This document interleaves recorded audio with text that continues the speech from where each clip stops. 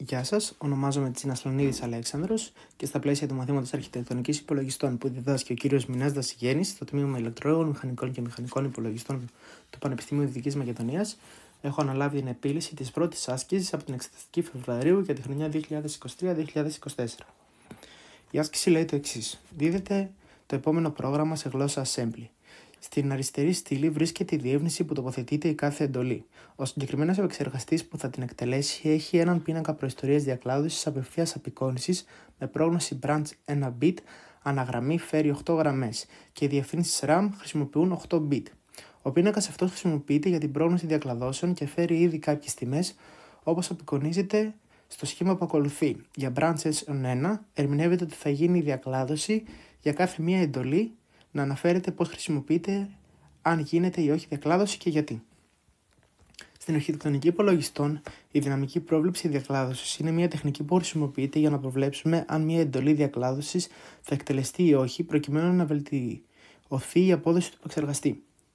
Σε αυτή την περίπτωση χρησιμοποιούμε έναν πίνακα προϊστορίας διακλαδώσεων, ο οποίος περιέχει πληροφορίες από προηγούμενες εκτελέσεις εντολών για την πρόβλεψη των, εντολών, των μελλοντικών εντολών διακλάδωσης. Ο πίνακας που δίδεται έχει 8 γραμμές και κάθε γραμμή περιέχει τα εξής πεδία.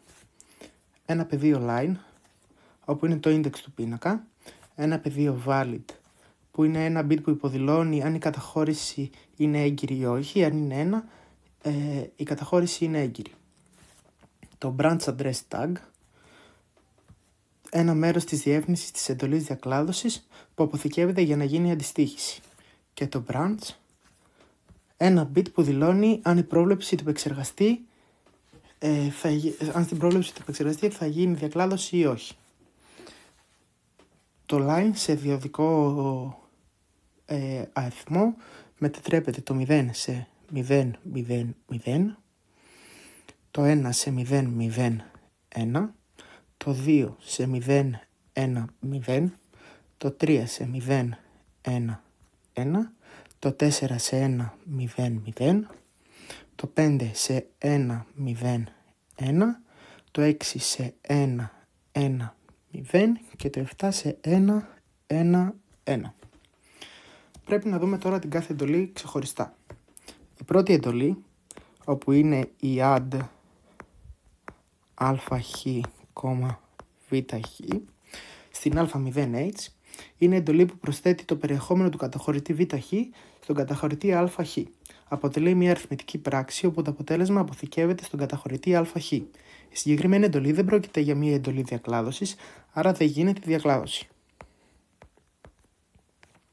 Η δεύτερη εντολή, η οποία είναι η CMP αχ2 στην α2h, αυτή η εντολή συγκρίνει την τιμή του καταχωρητή ΑΧ με την τιμή 2. Η σύγκριση μπορεί να επηρεάσει τα αποτελέσματα μιας επόμενης εντολής διακλάδωσης, αλλά μόνη της δεν αποτελεί μια εντολή διακλάδωσης, άρα ο πίνακας προϊστορία δεν χρησιμοποιείται.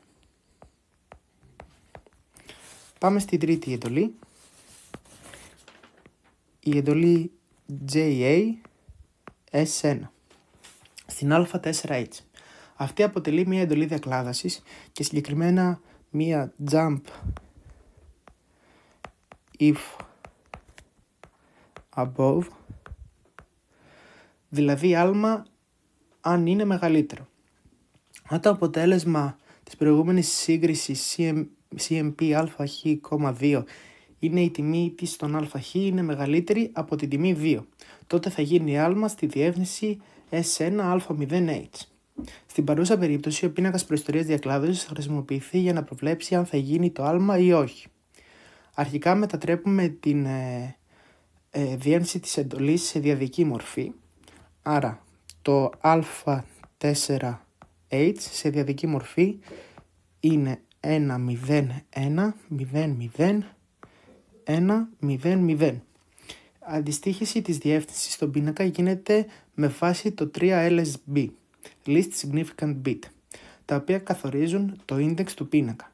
Χρησιμοποιούμε τα 3 bit της διεύθυνσης για αντιστοίχηση, διότι ο πίνακας είναι απευθείας απεικόνησης και χρησιμοποιούμε μόνο ένα μέρος της διεύθυνσης για αντιστοίχηση και ταυτόχρονα ο πίνακας αποτελείται από 2 στη τρίτη γραμμές, άρα για την επιλογή μία από αυτών χρειαζόμαστε 3 bit.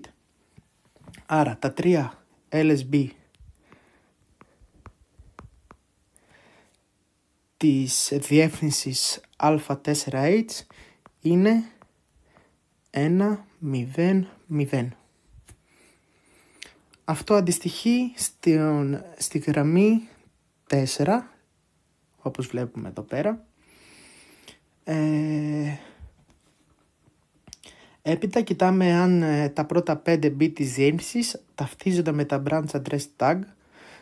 Στην προκειμένη περίπτωση το 10100 του branch address tag ταυτίζεται με τα πρώτα ψηφία το 10100 ε, το valid bit είναι 1, άρα η καταχώρηση είναι έγκυρη και branch ίσον 1, άρα θα γίνει διακλάδωση σύμφωνα με τον πίνακα. Άρα θα γίνει.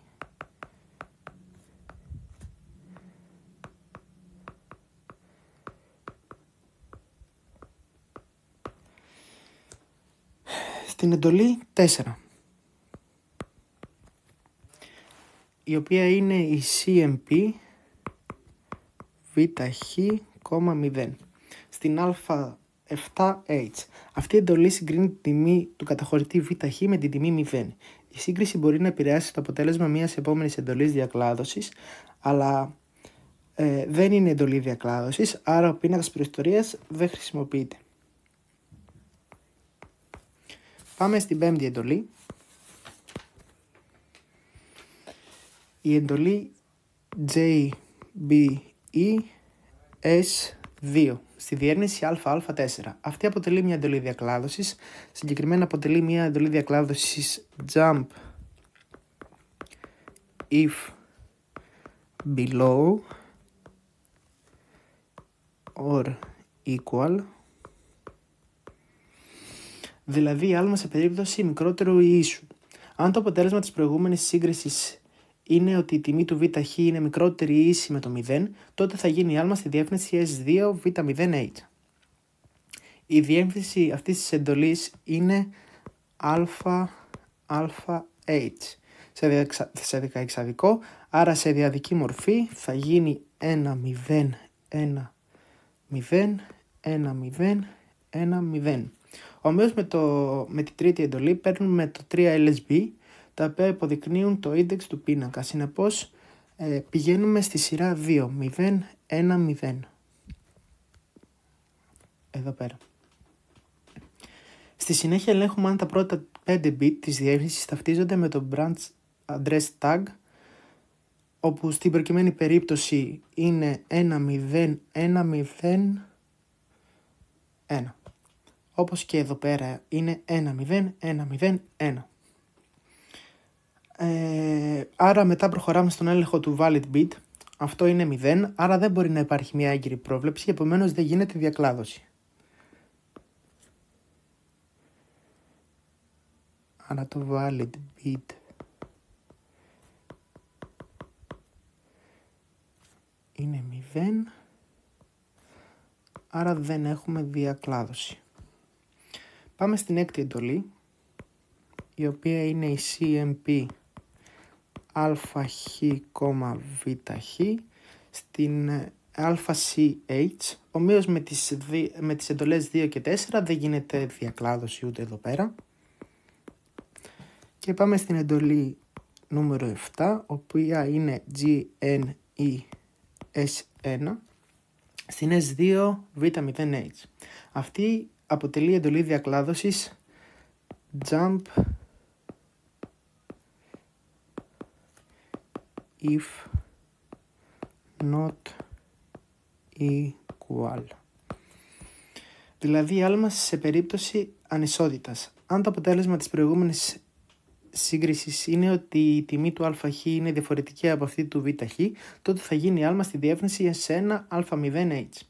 Η διεύθυνση αυτής της εντολής είναι β0h. Ε, σε ιδιωτική μορφή αυτό αντιστοιχεί σε 1, 0, 1, 1, 0, 0, 0, 0. Ομοίως με τις εντολές 3 και 5 παίρνουμε το 3 LSB. B, όπου είναι 0, 0, 0. τα οποία μας δείχνουν τη γραμμή 0.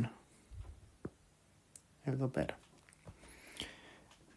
Ε, μετά ελέγχουμε τα πέντε πρώτα μετά ελέγχουμε τα πέντε πρώτα bit με το branch address tag. Βλέπουμε ότι οι δύο διευθύνσεις ταυτίζονται. Το valid bit είναι 1.